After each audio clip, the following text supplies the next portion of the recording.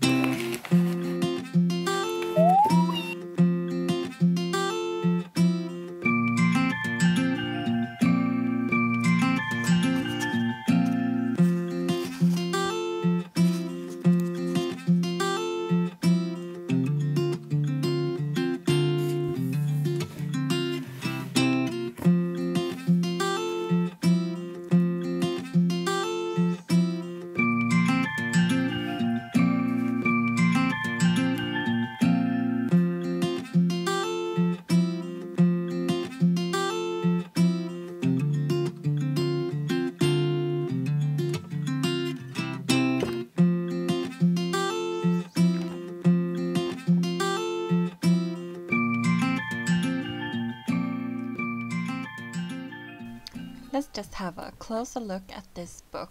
Um, I wanted to share it uh, just to show how thick and yummy it is uh, in person. It's called Vintage Life and, and it is chock full of beautiful images and inspiration for a, a life inspired by vintage things. In a series that is uh, called the Uppercase Encyclopedia of Inspiration. Uh, it's a series made by the publisher of Uppercase magazine, who is called Janine, and she's done this series of uh, books to inspire, inform, and delight. And it has so many beautiful pictures. It is about um, it's profile of people and businesses that have immersed themselves in the aesthetic technologies and trends of bygone eras uh, is the description of the book. It's vintage sellers and dealers, collectors, interior de decorators, stylists, writers, mu musicians, and creative souls that likes um, like a bygone era and living in the past. So um, if that um, aesthetic is something that you're interested in or enjoy uh, looking at, if you're a thrifter, I think this book is for you. Um, I I simply love all the images um, that is featured. I could it's just like having Pinterest in book form, I think. But then um, I've also taken the time to read the like the profiles and the texts, and it's it's really inspiring. I feel like running to my closest thrift shop and uh, buying everything, starting new collections, uh, and also I need a bigger house if if that's gonna be happening. But um, yeah, so I these books are expensive um, and they are an investment I think. So just know that. And of course I pre-ordered these last year and I'm just now getting to edit and upload this video. But uh, as far as I can tell both this one and the second one I bought which is about quilts um, is available um, for sale so if you want to check them out I will link both of them below. I totally love how the cover is made. It's like a poster that is the wrap around and it all it's all this big image. Um, this one has quilts and vintage bed sheets. Um, so lots of fabrics on one side and the other side um, also is printed. So you can put it up on the wall or you can um, move it around. Personally I haven't seen this um, idea before but I really like it. The title is just printed on this wraparound band uh, which on the back side has the themes or things um, items products that you can find inside uh, chapters about so you have to keep that one to know what the book is called if you change the wrap um, around. So here I put the quilted one on um, just to show how different it looks. Um, I think it's a brilliant idea. I also ordered the quilted Encyclopedia of Inspiration um, volume, uh, also called From Pattern to Patchwork is the subtitle.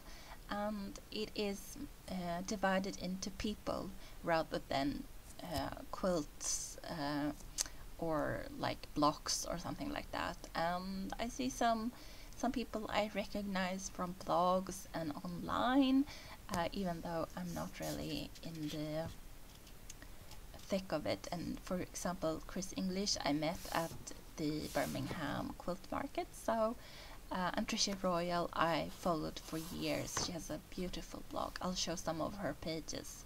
Uh, but this is the book. Uh, beautiful cover, done the same way with the wraparound.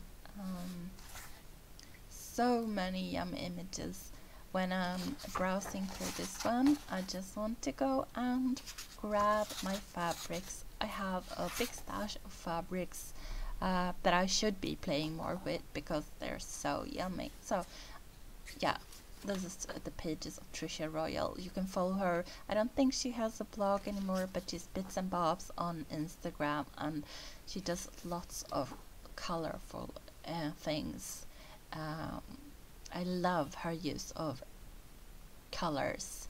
It's like a quilted rainbow, the things that she cr is creating. So check her out um, uh, yeah there you can see.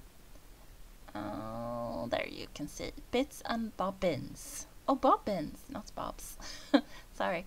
I'm a fan of the modern look of hers and a few others in this book. There are lots of different styles uh, all kinds of quilts uh, traditional uh, and mixed media and um, fun, very modern ones and hand pieced and um, depicting and uh, just fun play with patterns.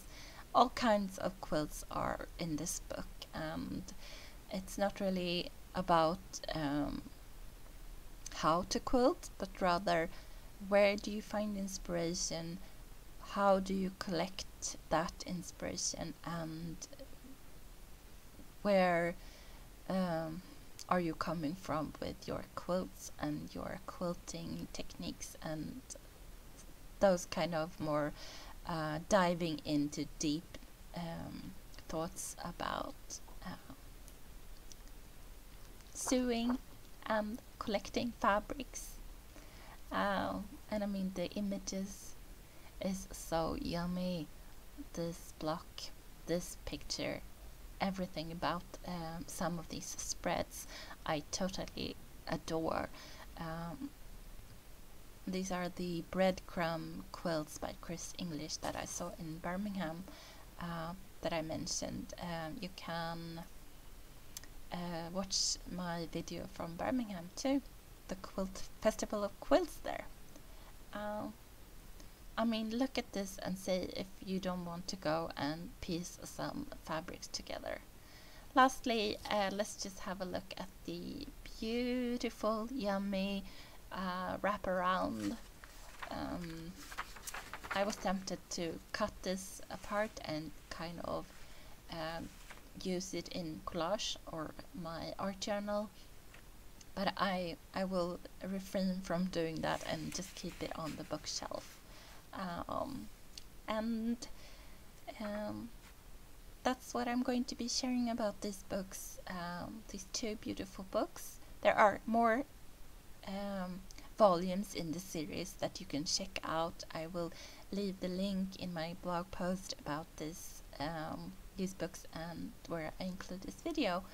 Uh, and that's what we're going to be ending with my quilt is calling and I must go.